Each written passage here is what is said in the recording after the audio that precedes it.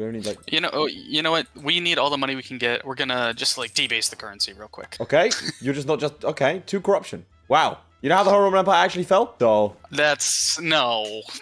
Listen, if you go look at corruption, national unrest, um, uh, minus 0.4. Every Yo, bit of corruption right. we get We should give is more should more stability for us. In fact, No, no, no. That's uh. oh, uh, we're committed. We're committed.